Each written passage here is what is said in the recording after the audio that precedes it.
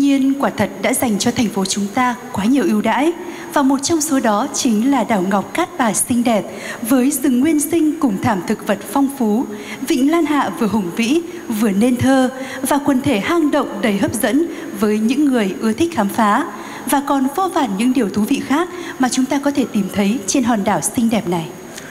Dù đi khắp muôn nơi, đi đâu về đâu, tôi vẫn nhớ nơi này, nhớ bãi cát cò, in dấu chân ai, như bến cái bèo, chiều vui thuyền cá.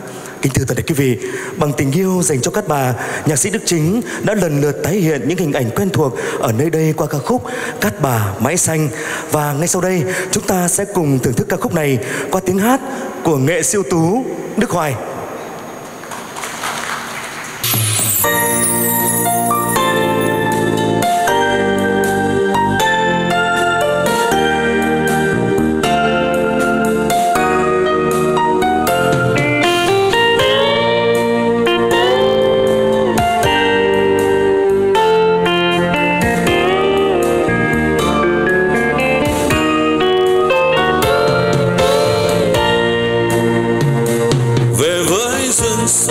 Về với biển xanh, về đây cát bà. Con thuyền buông néo cuộc đời buông néo mảnh đất thần tiên khi mặt trời lên, hồng phía chân mây, con sóng vô bờ. Lung linh đảo ngọc lung linh cát bà, đào đá sinh sôi. Cát bà thôi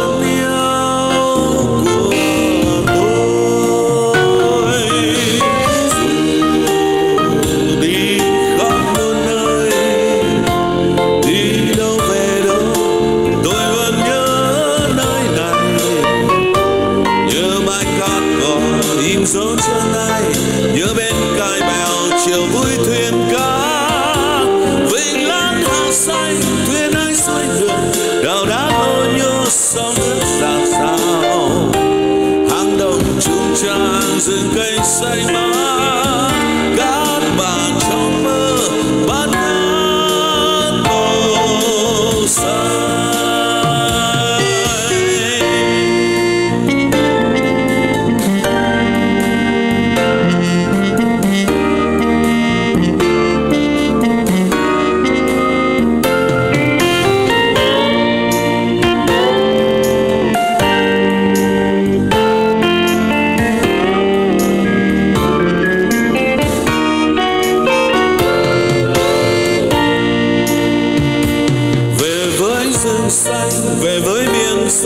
về đây cát bà con thuyền buông neo cuộc đời buông neo mảnh đất thật tiền khi mặt trời lên hồng phía chân mây, con sóng vô bờ.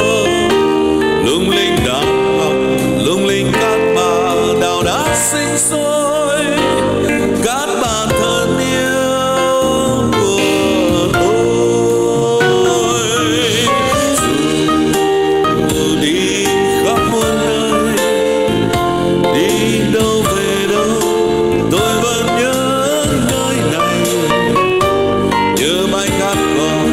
Dấu chân ai nhớ bên cài bèo chiều vui thuyền ca.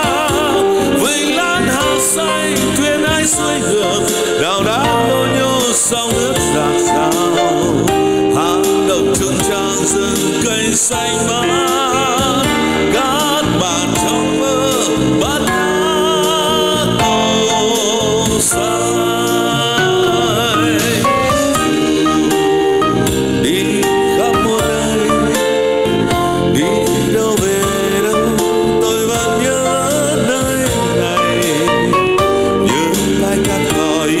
Dấu chân ai nhớ bên cài bèo chiều vui thuyền ca. Vịnh lan hào xanh, thuyền ai xuôi ngược đào đá lô nhô, sóng nước giạt rào. Hang động trung trang rừng cây xanh mát gác bà trong mơ, bát